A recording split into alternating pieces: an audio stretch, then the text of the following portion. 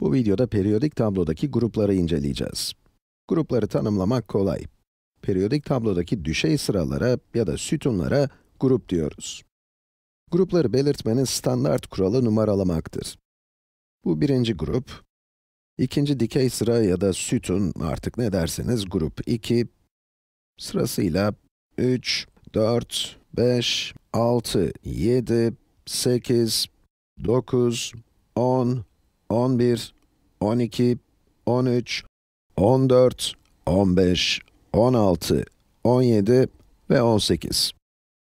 Bazılarınız buradaki F blok elementlerini merak ediyor olabilirsiniz. S, D ve P blok elementlerinin tamamı sırasıyla burada.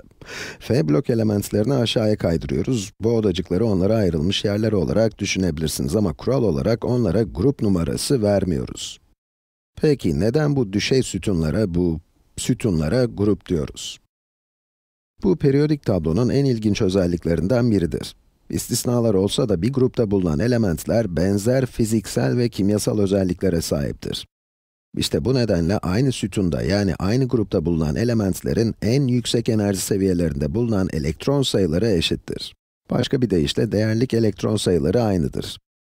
Bu arada en yüksek enerji seviyesindeki toplam elektron sayısına değerlik elektronları diyoruz.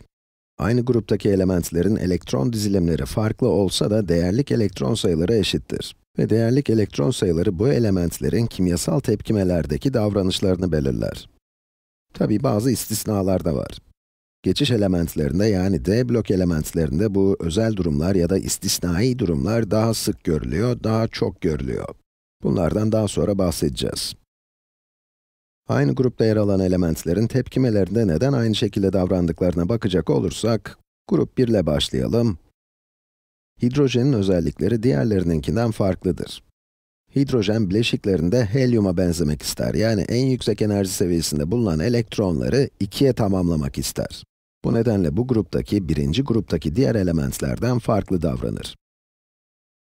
Hidrojeni bir kenara bırakacak olursak, bu gruptaki diğer elementlere alkali metaller diyoruz. Hidrojen bir alkali metal değildir. Diğerleri alkali metallerdir. Alkali metaller. Peki neden bu elementlerin kimyasal özellikleri benzerdir ve neden benzer şekilde tepkime verirler? Elektron dizilimlerine bakalım. Örneğin lityumun elektron dizilimini yazalım. Helyumdan sonra helyum, ikinci enerji seviyesinde bir elektronu daha var. 2, S, 1.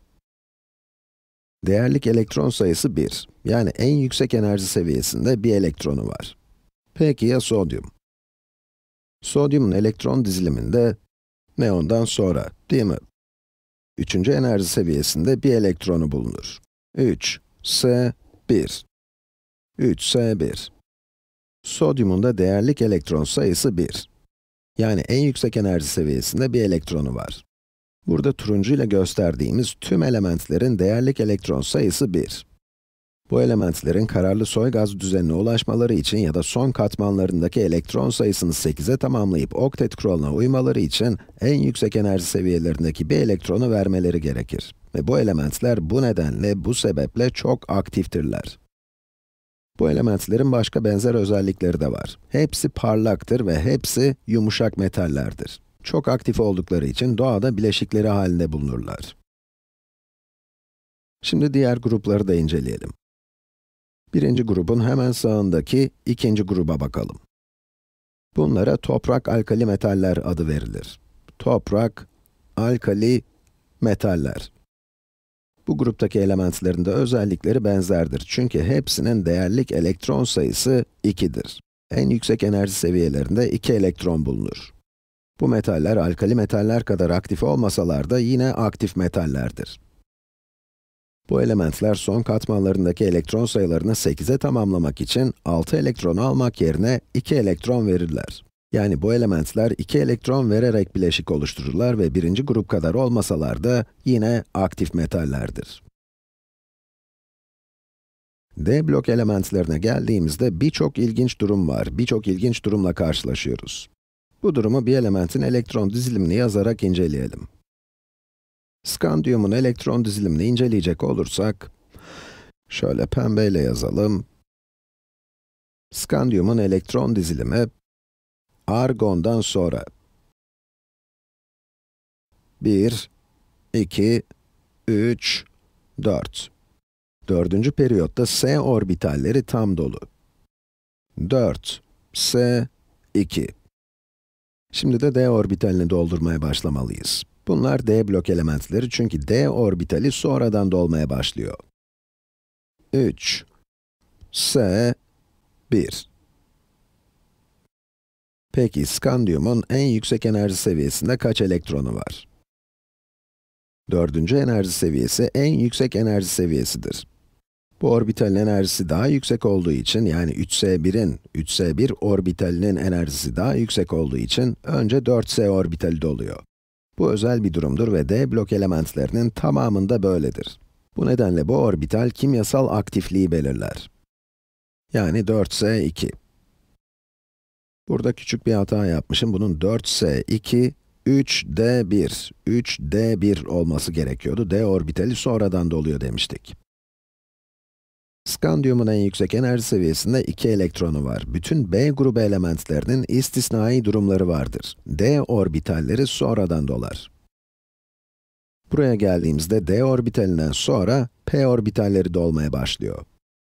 Örneğin karbonun elektron dizilimini yazacak olursak, helyumdan sonra helyum, S orbitali doluyor.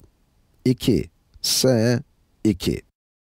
Sonrasında p orbitali, 2p, 1 ve 2 elektron. 2, p, 2. Peki değerlik elektron sayısı kaç? En yüksek enerji seviyesinde, yani ikinci enerji seviyesinde 2 artı 2, 4 değerlik elektronu var. Bu durum 14. gruptaki tüm elementler için geçerlidir. Bu nedenle karbon ve silisyumun bağ oluşturma eğilimleri benzerdir. Bu şekilde devam edecek olursak, oksijen ve kükürt, her ikisinin de değerlik elektron sayısı 6'dır ve 8'e tamamlamak için 2 elektron almak isterler. Bağ yapma eğilimleri de benzerdir. Sarı ile belirtilen buradaki grupta bulunan elementler halojenler. Halojenler. Bunlar da oldukça aktiftir. Değerlik elektron sayıları 7'dir ve bir elektron almak isterler. Özellikle de alkali metallerle bileşik yapmayı çok severler.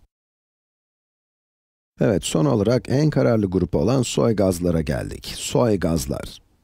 18. grup elementlerinin özel adı soy gazlardır ya da asal gazlar.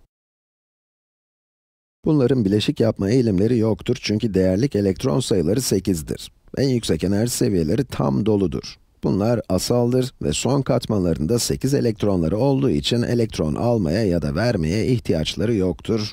Kendi başlarına takılırlar. Bu kadar.